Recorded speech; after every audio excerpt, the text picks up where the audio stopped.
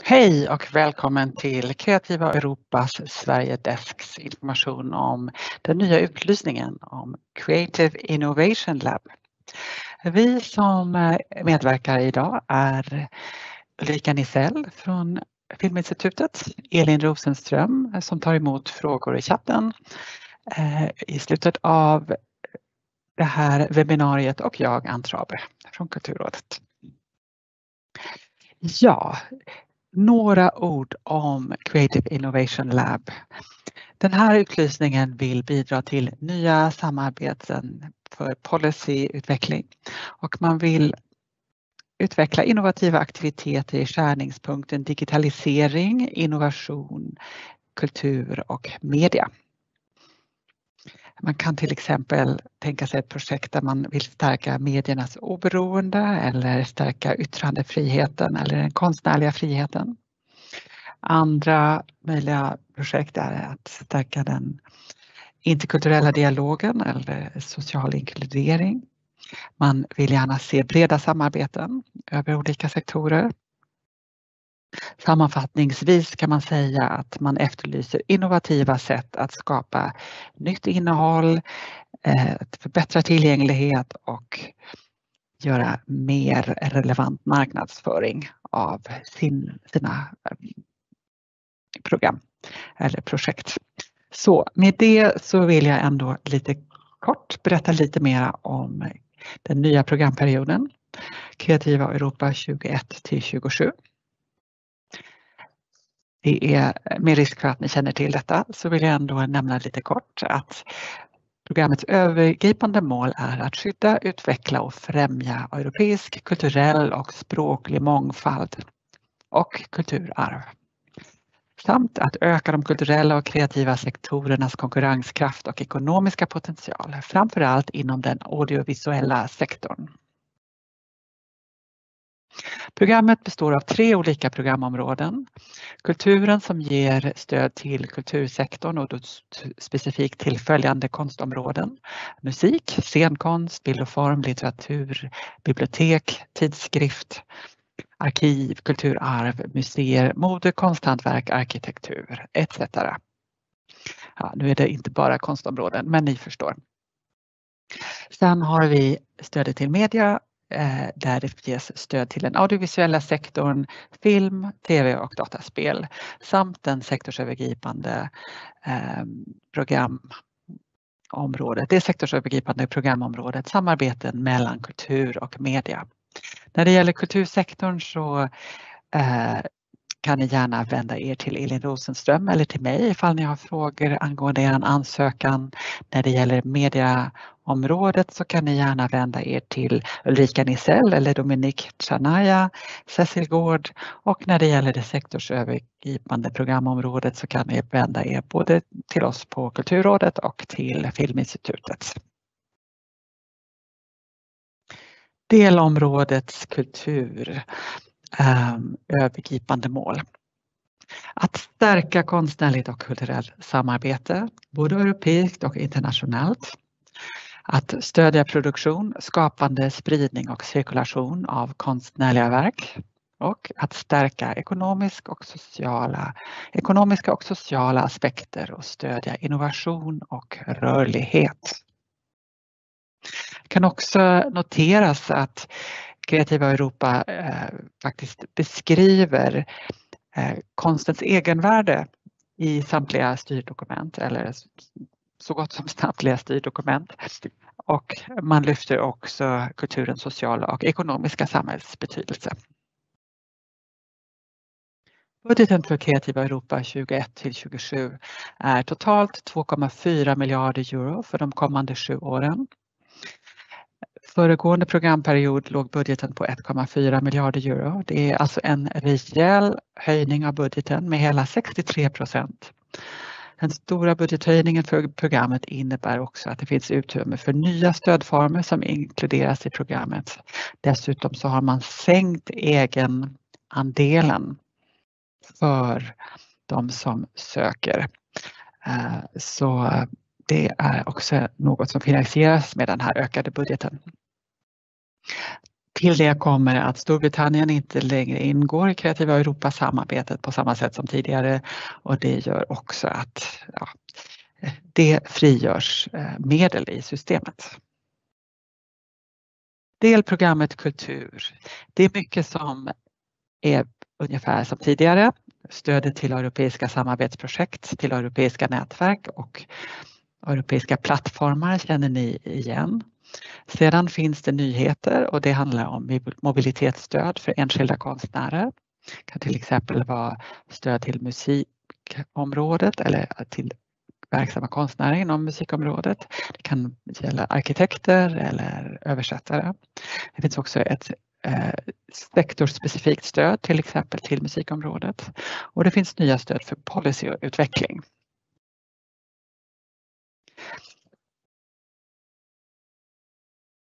Eh, nu ska vi se. Vi, medias prioriteringar för 2021 det är eh, också de prioriteringar som finns för hela eh, kreativa Europa och det är den här en grön Green Deal som ska genomsyra alla stöd och även mångfald, inkludering, jämställdhet eh, och eh, eh, ja, mångfald, inkludering och jämställdhet. Eh, det andra kommer, det är ytterligare ett ord. Och sen så är det väldigt viktigt med det här europeiska mervärdet. Så det är en del av våra prioriteringar.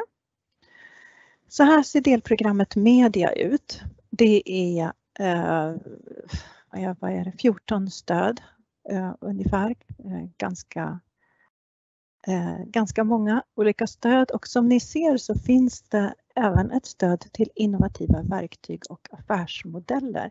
Och det är ganska likt det här stödet som vi kommer att prata om nu. Men det är... Um, nu försvann min, min bild här till och med. Uh, det är ganska likt men, men det är ett um, uh, stöd där man bara söker uh, som en person eller som en, en organisation. Man söker inte eh, med flera partners som man ska göra i eh, Creative Innovation Lab. Eh, och eh, eh det räcker då med enbart en svensk organisation. Eh, vi har numera indelat i tre delar, innehåll, företagande och publik. Men, eh, och som ni ser så ska samarbete, hållbarhet, jämställdhet och eh, det ska genomsyra alla våra stöd. Ehm, och samarbete även över nationsgränserna. Nu har min eh, skärm knasat till sig. Det är inte bara fel så att jag ser inte, nu går inte den här bilden framåt längre. Ehm, så idag var det mycket krångel. Jag får sluta dela och så får jag börja om igen. Vi får se om det blir bättre. Vi testar detta. Eh, Marcus, jag tror att du får gå in och hjälpa mig för att eh, det är du som har. Det är du som har. Ja, du behöver bara välja vad, du ska dela så lägger jag upp den igen. Nu, nu syns hela. Så. Det har inte kommit upp något val än här.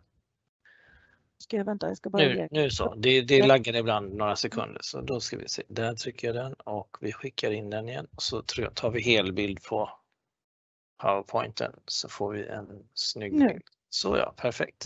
Varsågod och fortsätt. Nej, nu, nej, nu hoppar den ut igen. Det är någonting knas med den här också. Jag får göra om allting igen. Förlåt, det här var verkligen... Så. Så där, nu. Ser ni allihopa eller ser, ser man rätt nu? Är det helbild? Så, Nu är det helbild med eh, er lilla bild bredvid. Så. Eh, det vi ska prata om idag det är sektorsövergripande programområdet där det här Creative Innovation Lab ligger. Och eh, det, eh, det finns vissa mål för det här sektorsprogrammet och det är inte, det är inte bara Creative Innovation Lab som ligger där utan även ett helt nytt stöd för eh, journalistik och eh, eh, medienyheter, mediekunskap och det ser ni längst ner här på det sista, sista stycket. och syftet med det här det är ju samarbete mellan kultur och de audiovisuella, den audiovisuella sektorn. Att man ska, ja, att man ska samarbeta och finna nya innovativa tillvägagångssätt, teknik och distribution, Ehm, sprida, sprida verken och sprida det man arbetar med, det projektet man arbetar med.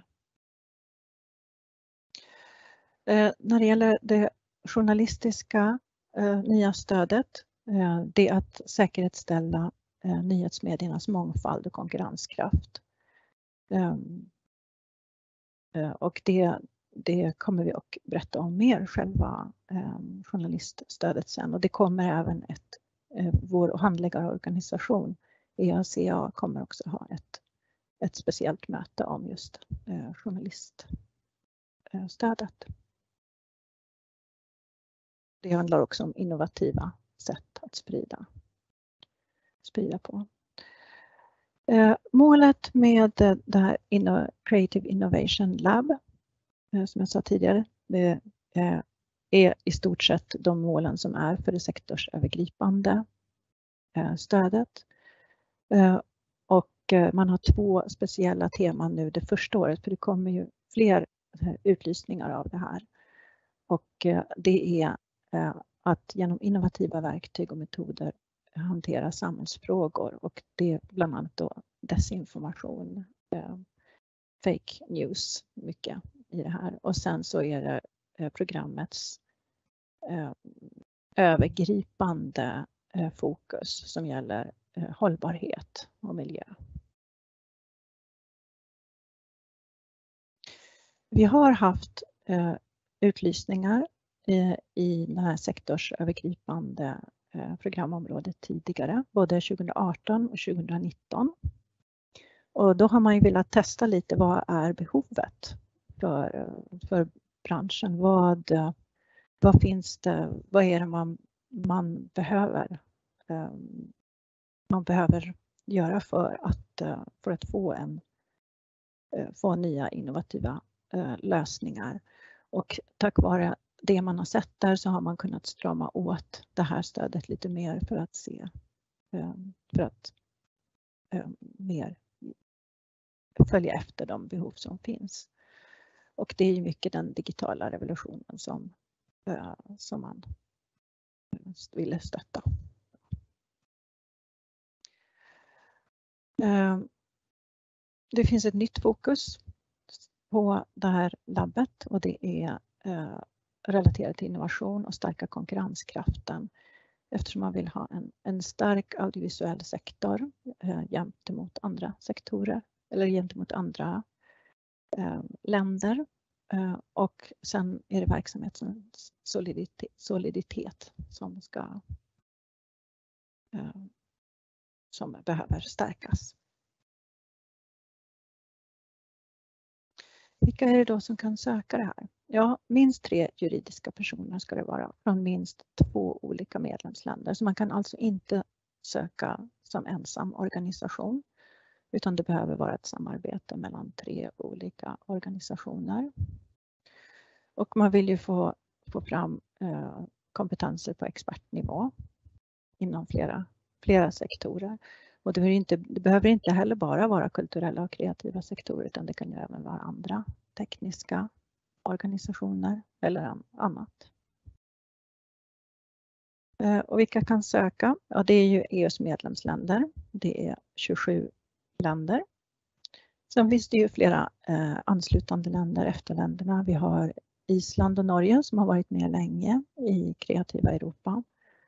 Eh, kandidatländer eh, i, eh, som ligger i Europa men inte är med EUs medlemsländer och även potentiella kandidater. Så det sammanlagt så är det väldigt eh, många länder. Jag kommer inte att eh, säga, säga alla nu, men eh, Ehm, det rör sig om ett eh, tiotal länder till och de, det är lätt att slå upp dem i det här i dokumentet som, som kommer som eh, finns för stödet. Och aktörer som är börsnoterade måste ange landet där företaget är börsnoterat eftersom det kan finnas i, det kan ju ligga i ett land men är börsnoterat i ett annat. Man kan söka upp till 60 procent av de totala eh, godkända kostnaderna. Eh, och så då ska man alltså gå in med 40 procent på egen hand och det kan ju vara andra stöd. Eh, eh och eh, eh det finns ingen eh, övre gräns hur mycket man kan söka men även om man Eh, söker en viss summa så är det inte säkert att man får den summan. Och man ska ju också kunna maxa stödet eller mot, eh, mot de här kostnaderna. Så att, att ehm, det finns ju, inget, det finns ju inte oändligt mycket pengar utan 6,3 miljoner euro är fördelat till det här stödet. Och man vill ju ehm, stötta åtminstone några organisationer. Det finns en eh, ansökningsportal, Funding and Tender Portal. Det är där man går in och söker och det är där också alla ansökningshandlingar finns. Och man sen, vissa laddar man ner och vissa gör man online. Om man blir beviljad så löper kontraktet i 24 månader. Eh, många av de nya stöden som har kommit är eh, fasta summor men just det här stödet är budgetbaserat. Och när det gäller kostnader så är de här kostnader in, in kind. Ursäkta. Eh, de är, man får använda dem men man får inte räkna dem i budgeten så det är neutrala kostnader.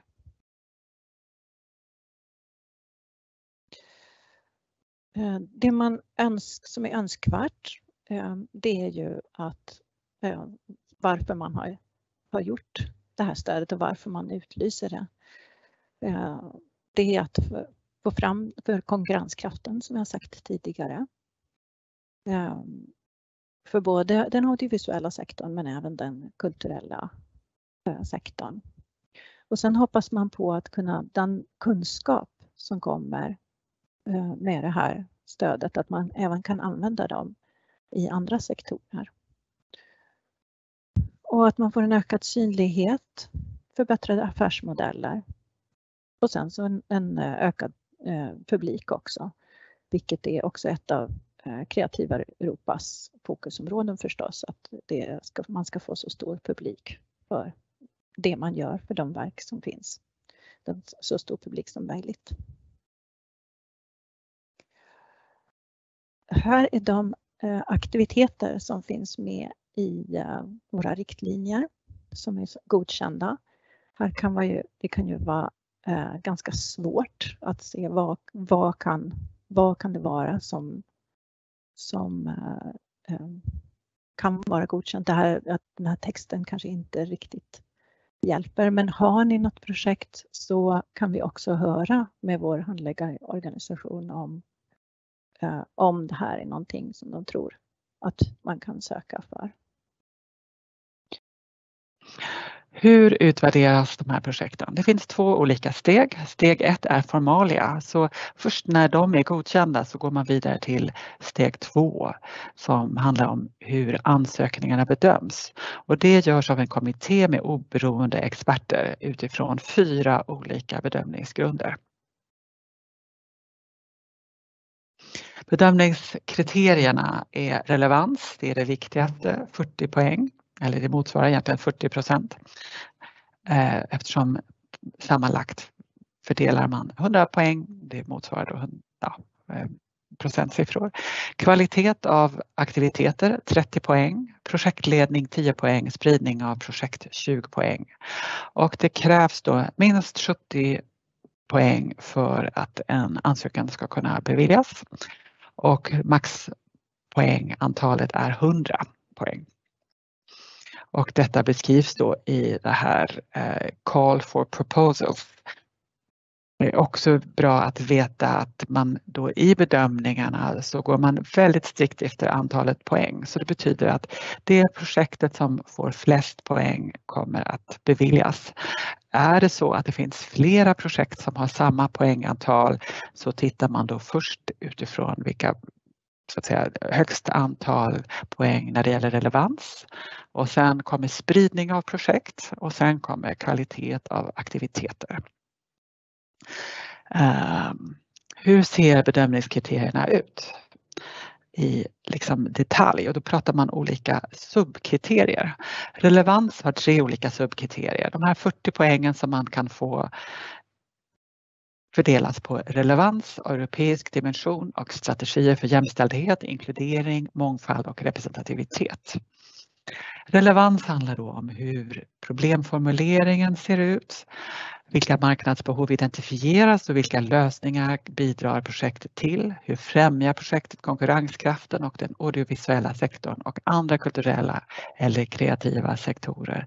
Och kan resultatet tillämpas eller replikeras inom andra sektorer? Kan resultatet um, detta ger max 20 poäng.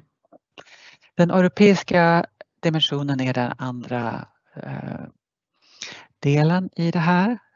Och då tittar man på hur projektet främjar EUs konkurrenskraft, vilka samarbeten sker över länder och språkområden och hur bidrar projektet till långsiktiga samarbeten. Och till detta får, för detta får man max 15 poäng. Och den sista eh, subkategorin är strategier för jämställdhet, inkludering, mångfald och representativitet och här kan man få max 5 poäng. Och eh, sammanlagt så blir detta då 40 poäng.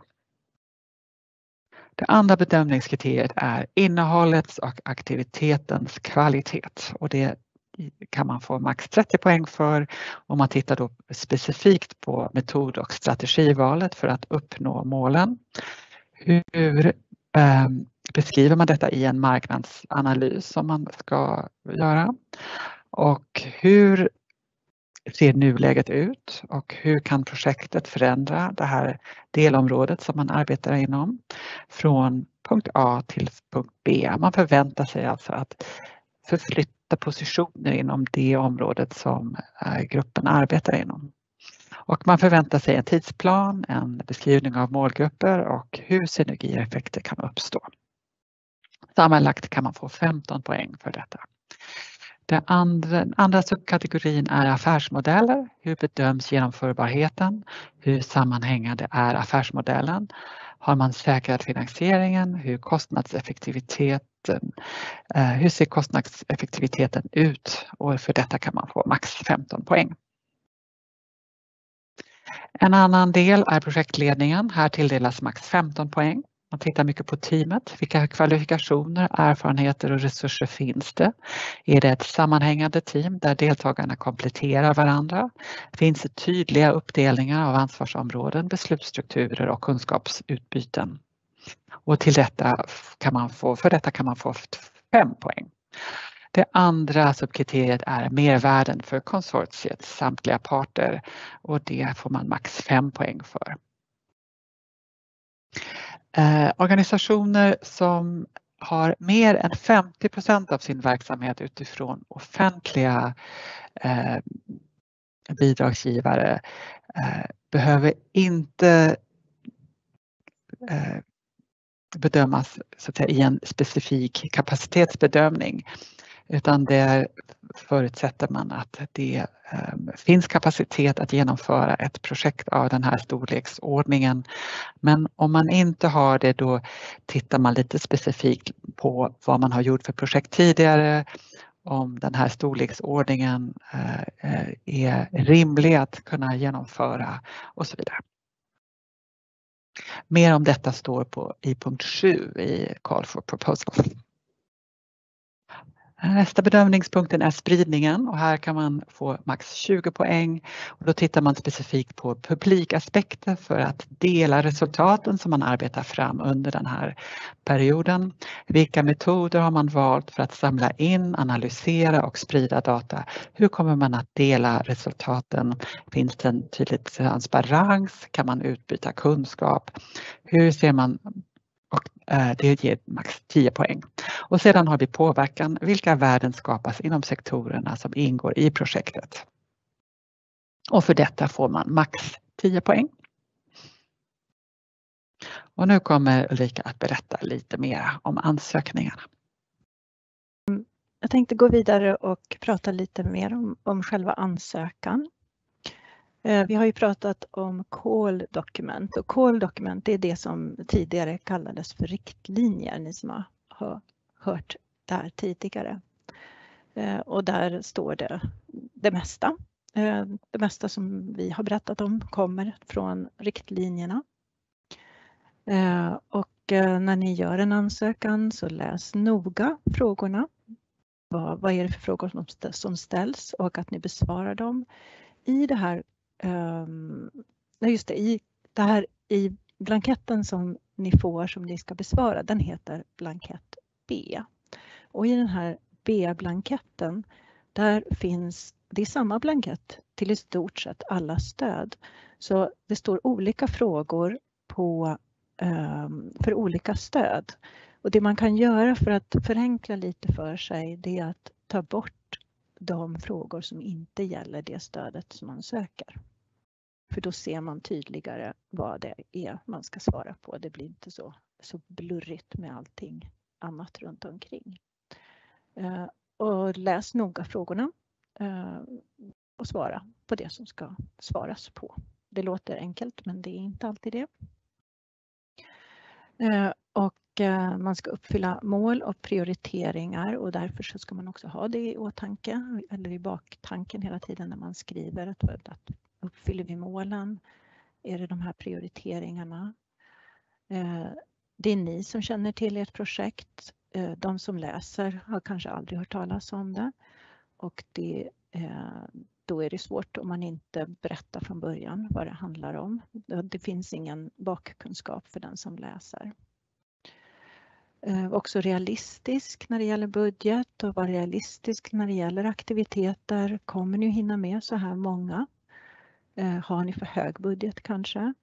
Har ni kanske för låg budget för de aktiviteter ni eh, tänker göra? Det ska finnas ett samband mellan budget och aktiviteter. Eh, vi på desken, det är eh, Ann som har pratat, Elin, jag och så är det Dominique som också jobbar hos mig på, den, på filmsidan, mediasidan. Vi är vana att läsa ansökningar så vi, även om vi inte kan just det här stödet, även om det är nytt och vi kanske inte har läst det tidigare, så är vi, vi är vana vid eh, språket och hur man formulerar ansökningar och, och svar. Och, eh, så fråga gärna oss och, och, vi, vi, det är därför vi finns, för att hjälpa er. Eh, det kostar ingenting utan det är bara att ställa frågor och ni får höra av er hur mycket ni vill. Och vi försöker hinna med så gott vi kan. Eh, ta nästa. Ehm, för att kunna se både det här koldokument och få ner ansök eller komma in och, och ehm, registrera sig som ansökare så behöver man gå in på en Funding and Tender Portal. Ehm, och den eh, hänvisar vi till på alla våra stöd så det är bara att klicka så kommer man in. Ni som har sökt tidigare, eh, ni har redan ett användarnamn så ni kommer in i den här också. Eh, det är samma. Eh, och när ni väl är inne då på det stödet ni ska söka i det här fallet Creative Innovation Lab så ser ni de olika eh, delarna. Eh, det är en del A och det är liksom mer administrativa frågor som man kan fylla i ganska snart, snabbt. Sen kommer den här part B eller del B och det är den som är själva ansökan och den kan man ladda ner så den sitter man och jobbar med och sen så laddar man upp den då när man ska söka, när den är klar. Och sen är det C och det är lite såna här mera eh, statistikfrågor. Eh, men de ska ju också fyllas i. Eh, det är några frågor som vi eh, tar upp här för att eh, eh de kanske är lite svåra och det det gjorde vår handläggarorganisation när de eh, berättade om stödet. Så jag tänkte att det, det talar vi också om. Describe how your activity meets the, need, meets the needs of the industry sectors. Och det är knutet till målet för utlysningen. Och det är alltså hur, hur ni ehm, eh, främjar samarbete och kan förbättra konkurrenskraften för den eh, audiovisuella sektorn och öka synligheten, tillgängligheten, mångfalden, publiken. Alltså de här orden som återkommer som är väldigt viktiga för, för EU-stöd eller med kreativa Europastöd överlag. Men att ni, att ni tänker på dem så att det är rätt saker ni tar upp, att det, det, att det är det som, som finns med här. Eh, och den här frågan 2,1, Concept and Methodology. Det är marknadsanalys Eh, och metoden och det tog ju också Ann upp när hon gick igenom de här bedömningskriterierna. Eh, så att ni, ni eh, tänker på att det, det, är det de vill se i den här delen. Det, det är lite svårt att ta till det nu när man bara ser det lösryckt men sen när man är väl inne i själva ansökan så är det lättare att förstå vad de, mamman man menar med de här delarna. Någonting som är nytt för, uh, för det här programmet det är någonting som heter Work Packages.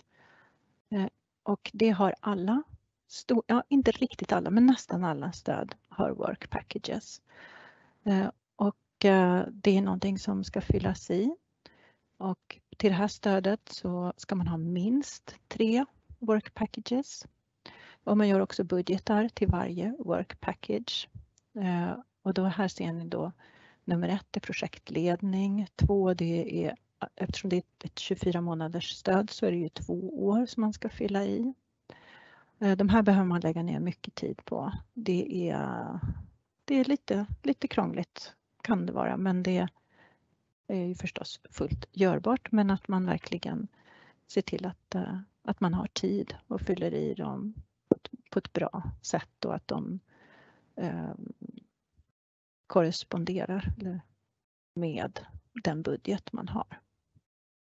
Och behöver man lägga till work packages som ni ser så, så kan man göra det. Men eh, förslagsvis så, så har man tre. Det är också mindre att hålla reda på. Ju fler man har desto mera jobb blir det för att de ska också fyllas på med så kallade deliverables. Att man visar upp vad man har gjort sen så att man att eh, när man sen rapporterar så ska, ska det finnas att vi har eh, för varje work package så ska man fylla i vad man, vad man har åstadkommit med eh, eh bevis som man också laddar upp. Om man nu eh, blir beviljad och får stöd så får man 60 procent först eh, och sen får man 40. Men om det är så att man eh, är ett helt ny, en helt ny organisation och, och finansiella kapaciteten är låg så delar de upp det i tre betalningar så får man göra en interimsrapport mellan de här olika betalningarna. Eller för att få ut sina betalningar. Eh, deadline är den 5 oktober så det är än så länge gott om tid men eh, vi tänkte att det kan vara bra att prata om det här redan nu eftersom det här är ju någonting man behöver förbereda väl med partners och ja, det tar tid och nu är det sommar och sen plötsligt så är det höst. Så det är dags att sätta igång. Eh, sen efter deadline så går de igenom, experter läser och bedömer eh, ansökan. Eh, och man får svar i januari och sen tar det ett tag innan man får skriva kontrakt. Och det räknar de med att det blir i februari nästa år. Och här är vi som arbetar på, på desken och det är alltså vi som, som det går bra att kontakta. Ehm, så, så mycket ni vill och ni kan skicka era texter om ni vill det och vill ni inte det så måste ni inte det. det här, vår hjälp är ingenting man måste ha men vi rekommenderar det. Um, och ni är jättevälkomna och vi tycker det är roligt också förstås. Så vi vill ju gärna att ni kommer till oss. Uh, ja, var det någonting mer vi skulle säga? Har ni, finns det några frågor? Kanske Elin kan berätta?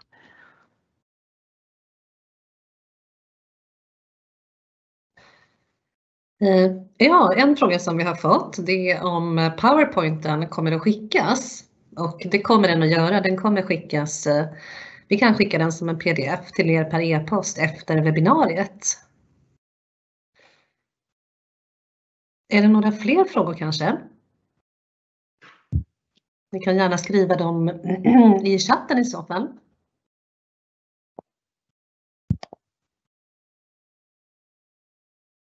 Vilket datum var det när eh, EACA, vår handläggarorganisation, de ska ju också ha ett, en information om det här stödet tillsammans med eh, det audiovisuella eh, stödet, det som jag pratade om lite i början, ehm, ehm, Creative Innovation Tools, där det handlar mer om verktyg.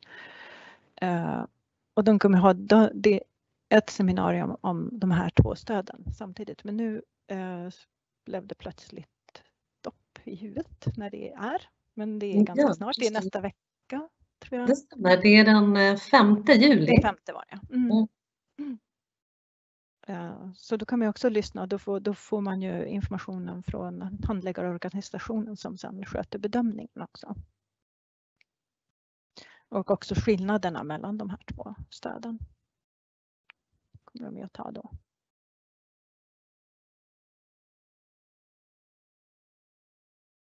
Något annat?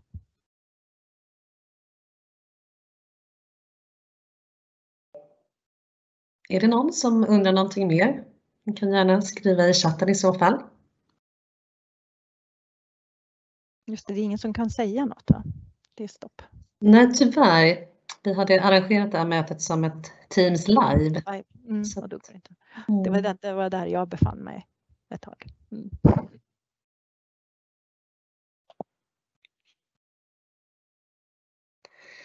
Just det, vi har fått en fråga till som handlar om att det är lite otydligt hur Creative Innovation Labs skiljer sig från andra utlysningar. Och jag kanske bara kan nämna lite övergripande då att som har sagts här i presentationen så Creative Innovation Labs handlar ju om samarbete mellan olika kulturella och kreativa sektorer där aktörer från kultursektorn och aktörer från den audiovisuella sektorn samarbetar och gör ett, eh, ett gemensamt projekt. Och när det gäller till exempel samarbetsprojekten inom kultur så är det ju fokus på organisationer inom eh, kultursektorn. Eh, Ulrika nämnde här också eh, att det finns eh, ett annat stöd inom media. Du kanske vill förtydliga där Ulrika om det stödet inom media som är ganska likt Creative Innovation Labs-stödet. Men det stödet är istället, då, där är det ju bara den audiovisuella sektorn och man söker olika verktyg, innovativa verktyg för eh, distribution, monetisering, digitalisering Eh, och det är en organisation som söker. Så där är det inte det här samarbetet mellan sektorerna som är just på Creative Innovation Lab. Och Creative Innovation Lab ligger också då i den här sektorsövergripande delen där båda sektorerna så ligger. Och där ligger ju även det här ny, eh, journalistik och nyheter så den rör sig också mellan, mellan båda sektorerna och eh, bygger också mycket på samarbete. Så det är väl den stora stora skillnaden mellan eh, sektorsövergripande stöden och stöden på respektive programområde, kultur eller media. Ja, precis. Sen har vi en fråga här igen då som handlar om om man får pdfen mm. och om man kan se webbinariet igen. Och det går bra. Vi kommer publicera själva filmen från webbinariet på vår webbplats. Eh, kanske ni på Filminstitutet också? Annars så kan man se den via Kulturrådets webb och vi skickar pdfen via e-post. Sen har vi en fråga och det handlar om, får ett bolag göra fler ansökningar under samma år? Eh, så som det brukar vara så får man inte göra det som huvudsökande, alltså projektledare eller koordinator. Men däremot så kan man gå in som partner i flera ansökningar. Eh, så att det går bra att vara eh, projektledare för en ansökan och partner i ytterligare andra ansökningar. Vill du lägga till någonting där eller vill ni det Ann och Ulrika? Nej, det är det vanliga. Jag har faktiskt inte sett någonting eh, kring det där, men det kan vi ju ta reda på. Också. Men det, som du säger Elin så är ju det det vanliga att man kan vara partner men man kan bara vara huvudansökande för en. Precis, det stod inget i Call for Proposal om det i den här. Mm. När det gäller andra stöd så är liksom grundregeln att man kan vara eh, i en och samma utlysning projektledare för ett eh, projekt. Men däremot kan man delta som partner i flera projekt om ni vill det. Och skulle, alltså skulle, skulle det vara tillåtet så är det ju inte så bra för då konkurrerar man ju ändå bara med sig själv också. Så det är ju, men jag tror att den jag tror att det är så. Jag tror att det är en sån regel för det är så gott som alltid det. Mm. Mm.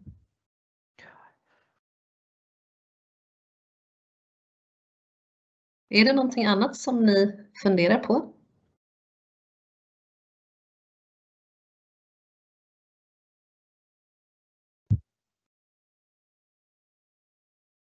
Ni kan ju som sagt var kontakta Eh, mig då, Elin Rosenström eller Ann Traber på Kulturrådet eller Ulrika Nisell och eh, Dominik på media på Filminstitutet om ni har frågor här framöver. Nu fick vi en till fråga här. Vilket Twitterkonto ska man följa?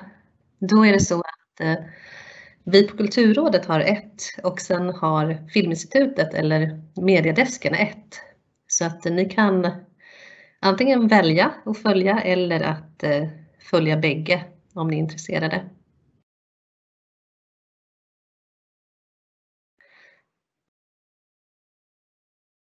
Ja, då kanske man ska lägga till att Kulturrådet har ju ett eget eh, eh nyhets, alltså en egen kanal, men också Kreativa Europa har en egen kanal då, eller hur?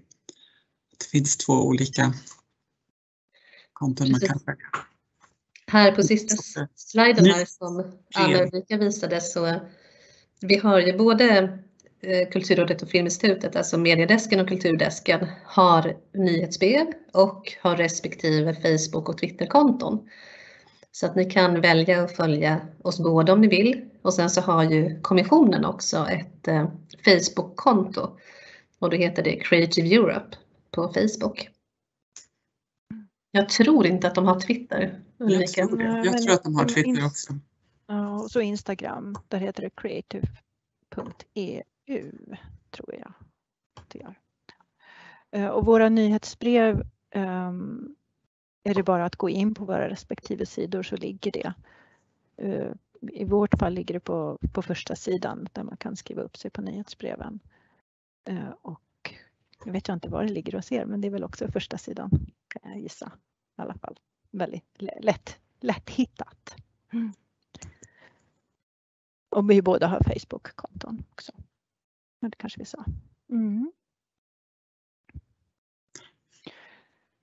Och vi kommer att finnas tillgängliga en stor del under sommaren om, om det behövs. In, inte riktigt hela kanske. Och ni kan vända er både till ja, till bägge kontoren om ja. ni vill söka det här stödet för Creative Innovation Lab. Och där kan vi också, båda, båda kontoren kan också gå in och, och, hjälpa till för vi har ju också mycket kontakt med varandra så att vi, vi äh, äh, hjälps ju åt också.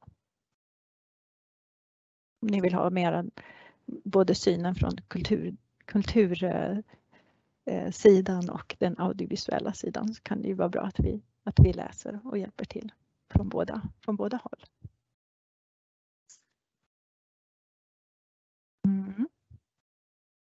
Är det någonting mer som, som vi inte har sagt? Som vi ska ta tid på er. Det ska vi väl säga. Lägg ner tid på ansökan. Men det kanske vi har sagt redan en gång. Men,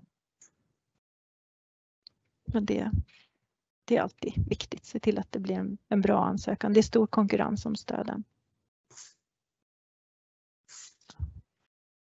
Och ansökan ska vara på engelska helst.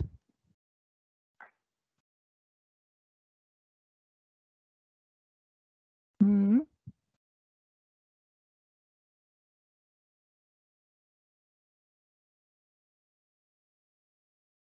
Ja, ska vi, ska vi avsluta? Om det inte, någon, det inte kommit några fler chattfrågor. Nej, inga fler frågor i chatten. Och för er som inte vill, vill för att ställa frågorna i chatten så går det jättebra att mejla dem om ni kommer på efteråt eller om ni inte vill. Det, vi svarar.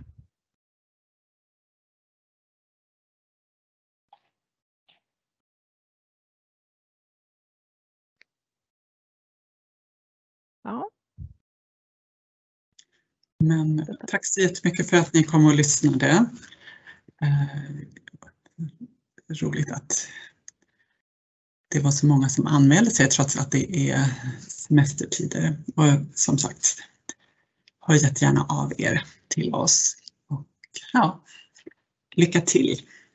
Tack! Lycka till och hoppas att vi får, vi får vara med och hjälpa er. Eh, hej då! Mm, tack så mycket. Hej då! Hej. Ja.